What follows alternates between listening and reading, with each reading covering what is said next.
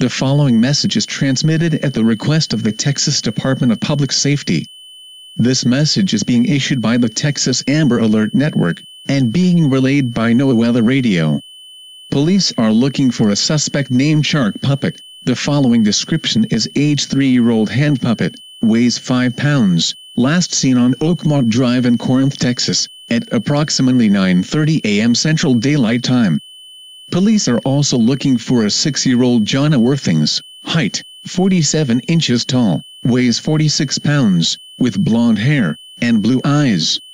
She was last seen wearing a black Nike Under Armour shirt and pants.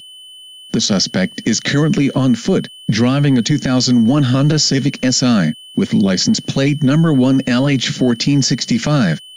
If you have any information about the child, or suspect, Call the Texas Amber Alert Network at 832-269-2553 or dial 911.